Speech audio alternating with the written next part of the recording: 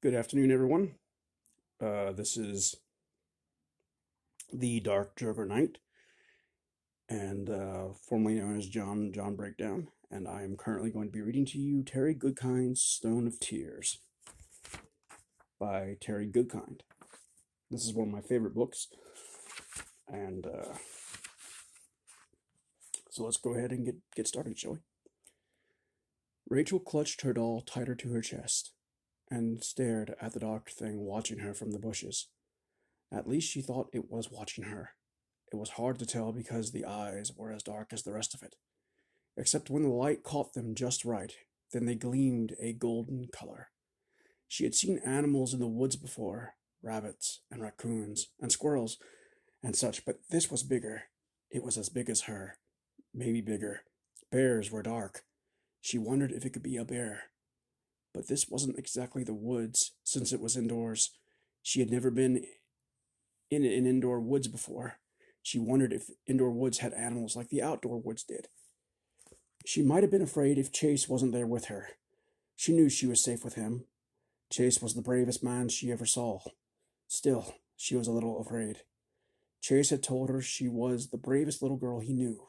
She didn't want him to think that she was afraid of some big rabbit. Maybe that's all it was, was some big rabbit sitting on a rock or something. But rabbits had long ears. Maybe it was a bear. She put her doll's foot in her mouth. She turned and looked down the path across the pretty flowers and short walls covered with vines, and across the grass to where Chase was talking to Zedd, the wizard. They were standing by a stone table, looking at boxes and talking about what to do with them. Rachel was glad that the, that the mean Darken Rahl didn't get them, and that she and that he wasn't ever going to be able to hurt anyone ever again. Rachel turned back to make sure the dark thing wasn't coming any closer to her. It was gone. She looked around, but didn't see it anywhere. Sarah, where do you think it could have gone? she whispered. Her doll didn't have an answer. Rachel bit down on Sarah's foot and started walking towards Chase. Her feet wanted to run, but she didn't want Chase to think that she wasn't brave. He had said that she was brave, and that made her feel good. She looked over her shoulder as she walked, checking but didn't see the dark thing anywhere. Maybe it lived in a hole, and it had gone there. Her feet still wanted to run, but she didn't let them. When Rachel got to Chase, she pushed up against him and hugged his leg. He and Zedd were talking, and she knew it was impolite to interrupt, so she sucked on Sarah's foot while she waited. So, what could happen if you shut the lid? Chase was asking the wizard. Anything. Zedd stuck his skinny arms up in the air. His wavy white hair was smoothed down, but it still stuck out in places. How should I know? Just because I know what the boxes of Orden are doesn't mean I know what they do with them. And now that Darken Rahl has opened one, the magic of Orden killed him for opening it. It could have destroyed the world. It could kill me for closing it, or worse. Chase sighed. Well, we can't leave, we can't just leave them sitting around here, can we? Don't we have to do something? The wizard frowned and looked at the boxes while he was thinking. After more than a minute of quiet, Rachel tugged on Chase's sleeve. He looked down at her. Chase? Chase, I told you the rules. He put his hands on his hips and twisted his face up, trying to make it look mean until she giggled and hugged his leg tighter. You've only been my daughter for a few weeks, and already you're breaking the rules. I told you before you are to call me father. None of my children are allowed to call me Chase. Understand? Rachel grinned and nodded. Yes, ch- father. He rolled his eyes and shook his head. Then he mussied her hair. What is it? There's some big animal in the trees. I think it might be a bear, or worse. I think you might need to take out your sword and go have a look. He laughed. A bear? In here? he laughed again. This is an indoor garden, Rachel. There aren't any bears in an indoor garden. Maybe it was a shadow. The light does odd things in here. She shook her head. I don't think so, father. It was watching me. He smiled and mussied her hair again and put his big hand on the side of her face and hugged her head to his leg. Then you just stay by me and it won't bother you. She sucked on Sarah's foot and nodded as he heard her, uh, as he held her head to his leg. She didn't feel so afraid now that his hand was on her, and so looked over to the trees again. The dark thing, mostly hidden by one of the vine covered walls, darted closer. Rachel bit down harder on Sarah's foot and let out a little whimper as she looked up at, at Chase. He was pointing at the boxes. And just what is that thing, that stone or jewel or whatever it is? Did it come out of the box? Zedd nodded. It did, but I don't know what to say. What I think it is until I'm sure, at least not out loud. Father, Rachel whined, it's coming closer. He looked down. Good. You just keep your eye on it for me. He looked back at the wizard. What do you mean you don't want to say? Do you think it has something to do with what you said about the veil to the underworld possibly being torn? Zedd frowned while rubbing. While, while, Zedd frowned while he rubbed his smooth chin with his skinny fingers, and looked down at the black jewel sitting in front of the open box. That's what I'm afraid of. Rachel looked over to the wall to watch where the dark thing was. She gave a start when she saw the hands reach over the edge of the wall. It was a lot closer. But they weren't hands, they were claws. Long, curved claws. She looked up at Chase, at all his weapons, just to be sure he had enough. He had knives, a lot of knives, around his waist, a sword strapped over the back of his shoulder, a big axe hooked up to his belt, a few other things that looked like clubs with sharp spikes sticking out of them, hanging from his belt, too. He and a crossbow on his back. She hoped it was enough. All the weapons scared other men, but they didn't seem to scare to be scaring the dark thing that was coming closer. And the wizard didn't even have a knife. He just wore that plain tan robe.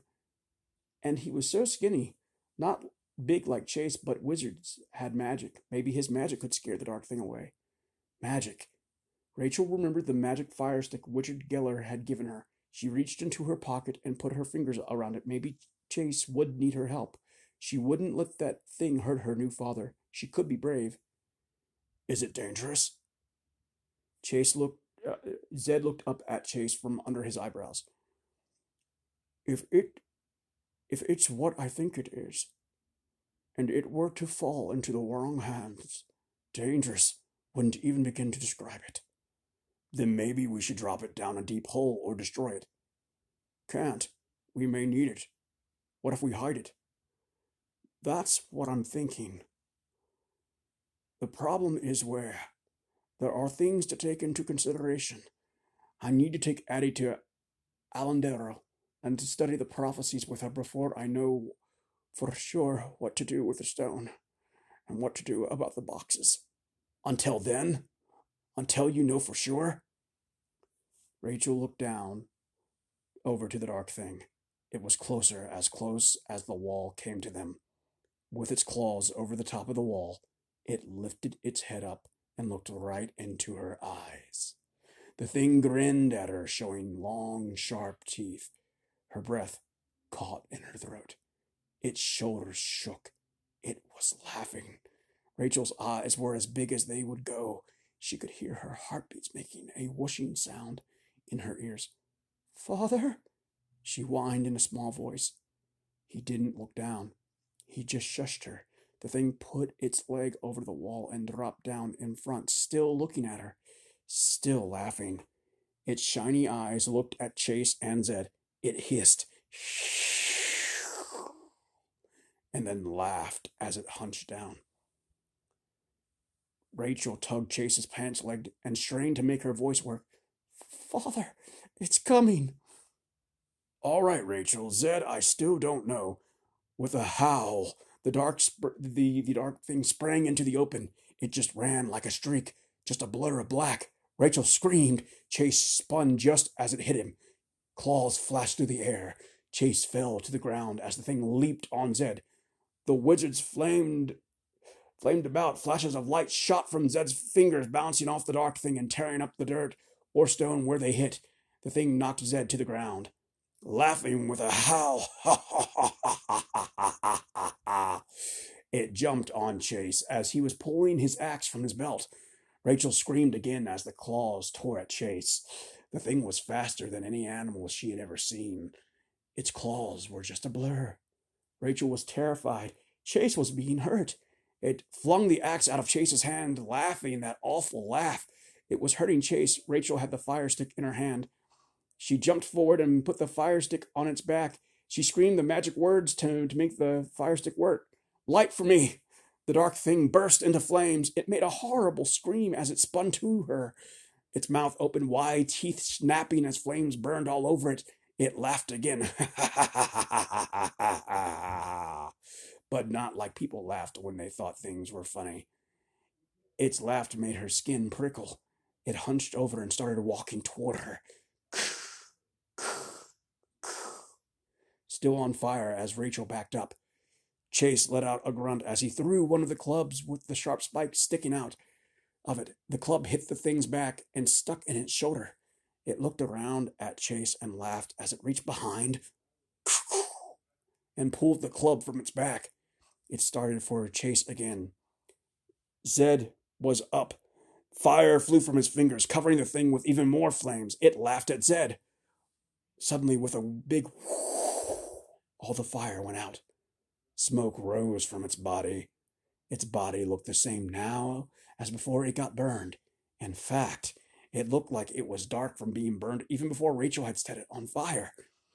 Chase was on his feet. There was blood on him. Rachel got tears at seeing that. Chase snatched the crossbow off his back, and in a blink he shot an arrow. With a it stuck in the thing's chest. With a terrible laugh, it snapped the arrow off.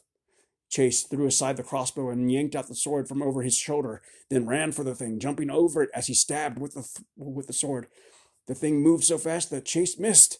Zedd did something that sent the thing tumbling across the grass. Chase pulled himself in front of Rachel, pushing her back with one hand while he held the sword out in the other. The thing sprang to, to its feet again and looked at each other.